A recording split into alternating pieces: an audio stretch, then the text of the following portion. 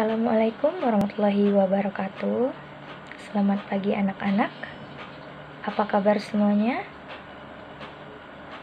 Semoga kita semua selalu dalam lindungan Tuhan Yang Maha Esa.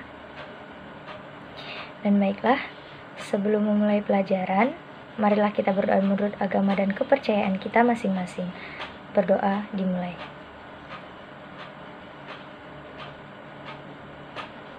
Berdoa selesai. Oke, karena sudah lama kita tidak belajar tatap muka yang disebabkan oleh pandemik yang begitu lama ini dan kita uh, diwajibkan untuk tetap di rumah saja agar tetap baik-baik saja. Oleh karena sistem pembelajaran kita kali ini uh, menggunakan sistem online, jadi ibu memohon maaf apabila dalam proses menjelaskan nanti ada beberapa bagian yang belum kalian pahami dengan jelas. Nanti kalian bisa tanyakan langsung ke ibu ya anak-anak. Oke, untuk absennya nanti kalian bisa screenshot uh, pembelajaran online ini, kemudian kalian bisa kirim uh, hasil screenshotannya ke WA ibu dengan keterangan nama kalian. Itu sebagai bukti uh, kehadiran kalian di pertemuan kali ini. Oke, baiklah anak-anak, kita langsung saja masuk ke materinya yaitu materi pertemuan kita hari ini adalah tentang sejarah, fungsi, makna dan simbol dan juga nilai-nilai yang terkandung di dalam tarian Jubata. Sebelum masuk ke penjelasan, Ibu akan memberikan beberapa foto atau gambar terkait dengan tari Jubata. Oke, di samping sini ada beberapa contoh gambar atau foto-foto gerakan tari Jubata.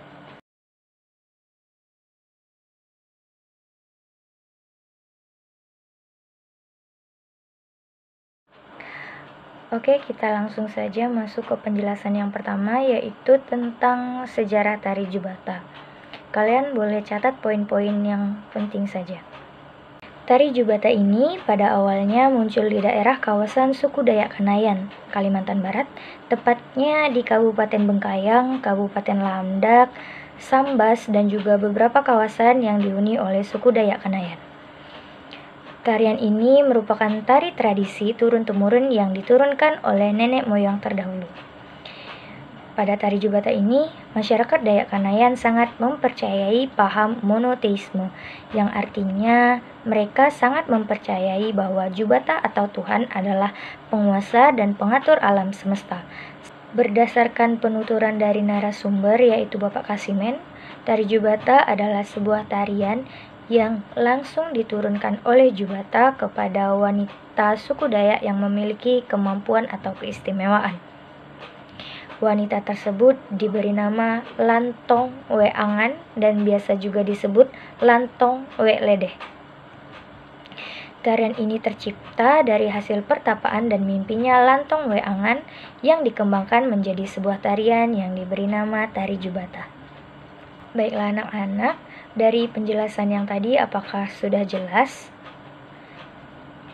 Jika sudah, kita lanjut ke fungsi dari tari jubata. Fungsi dari tarian jubata yang pertama adalah sebagai sarana upacara adat dan keagamaan, yang kedua sebagai hiburan dan dipentaskan di festival atau acara tertentu, uh, seperti festival naik dangu. Nanti kalian bisa cari di Google atau di YouTube bagaimana pelaksanaan uh, festival naik dangu ini. Kemudian fungsi yang ketiga adalah sebagai tari pengobatan dan upa, dan upacara syukur kepada Tuhan. Dan yang terakhir sebagai satu cara untuk meminta keselamatan agar tidak terjadi suatu hal yang tidak diinginkan. Jadi masyarakat terdahulu itu uh, sangat percaya bahwa salah satu cara mereka untuk meminta keselamatan itu yaitu dengan uh, menarikan tarian jubata ini. Oke, baiklah anak-anak, kita lanjut ke pembahasan berikutnya yaitu tentang makna simbol yang terkait dalam uh, tari jubata. Pada gerak tari jubata ini, gerakannya merupakan gerakan yang hanya meniti beratkan pada keindahan semata saja. Jadi, tanpa ada maksud tertentu, seperti itu. Kemudian pada penari laki-laki, gerak tariannya itu merupakan gerak yang sudah distilisasi atau dihaluskan dari gerakan keseharian yang secara jelas melambangkan makna-makna tertentu. Kemudian pada penari laki-laki ini, mereka dilambangkan sebagai dukun atau mandega, seperti halnya dalam upacara pengobatan orang sakit. Kemudian kita masuk ke gerak barungkup. Gerak barungkup ini menggunakan bara api dan kemenyan sebagai simbol untuk memanggil roh-roh halus. Selanjutnya ada gerakan ngantar sirih sebagai simbol sambutan bagi makhluk halus yang datang dan untuk memberi makan para makhluk halus agar tidak mengganggu masyarakat setempat. Baiklah anak-anak, dari penjelasan ibu yang tadi, apakah ada poin-poin yang menurut kalian masih kurang jelas? Nanti bisa langsung kalian tanyakan.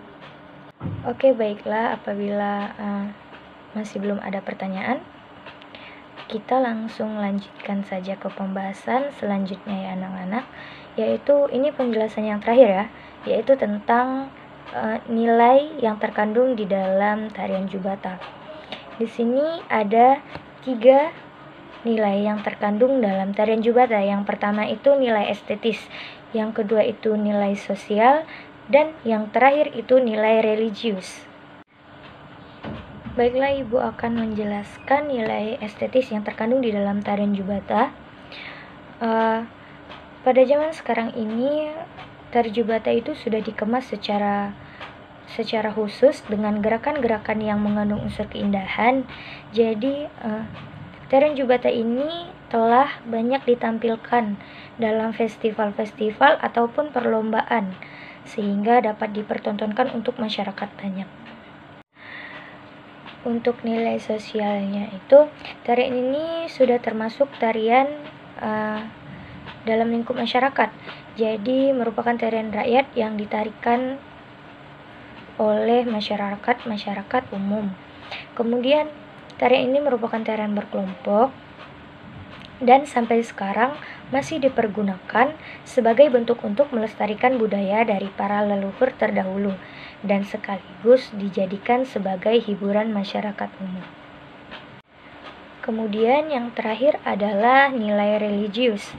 Nilai religius yang terkandung dalam tari jubata ini adalah Uh, tarian ini merupakan tarian yang menghubungkan antara kehidupan manusia dengan Jubata atau Tuhan.